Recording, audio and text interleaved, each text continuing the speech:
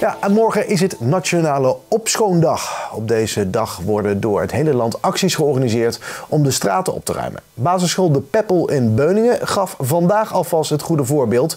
Leerlingen van groep 7 en 8 gingen zelf de straat op om afval op te ruimen. We hebben een zak gevonden en met gele vloeibare koeienstront. Nou, eigenlijk is vandaag de schoonmaakdag. Hè? Het is natuurlijk eh, de Nationale Schoonmaakdag, dus wij doen er ook aan mee. En gelukkig hebben wij ook een thema dat erbij past. Voor IPC zijn we bezig met het thema milieu. Dus ik vind het eigenlijk wel heel erg fijn dat we het vandaag ook gewoon kunnen combineren. Ja, een beetje deze buurt gewoon alle afval rapen en dan in vuilniszakken doen. En dan, zeg maar, dan hopen we dat we de gemeente Beuningen een beetje schoner krijgen. Afval prikken, dat kunnen ze wel, maar wat weten de leerlingen eigenlijk ervan? En wat leren ze op school erover? Niet, nog niet heel veel, want we hebben ook het eh, thema over afval en klimaat. Eh, bijvoorbeeld zonnepanelen ook.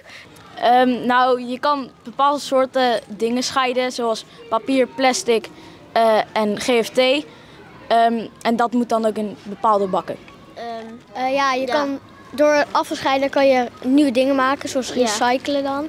Bijvoorbeeld schoenen en alles. En als je afval goed scheidt, dan eh, is het ook makkelijker om te recyclen. Dat wij het thuis ook gewoon netjes scheiden. En dat we dat in de klas dus ook keurig doen. Want het keurig drie bakken hier staan. En dat hebben we thuis ook. En we vertellen inderdaad waarom is dat en wat doe je er eigenlijk mee. En dan hangen we ook keurig zo'n postertje bij ons boven de prullenbak.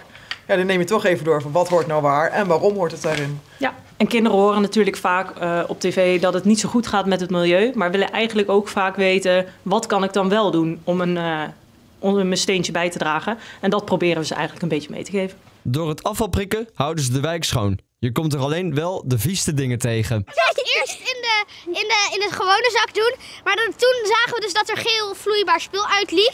Dus toen, zijn we, toen moest het iets overgeven, omdat de geur echt heel erg smerig was. En toen wouden de zak eigenlijk dumpen, maar toen dachten we, ja het is schoonmaakdag, we nemen hem wel mee. Gelukkig zijn de Beuningse straten weer schoon en zit een middagje afval prikken voor de leerlingen er weer op.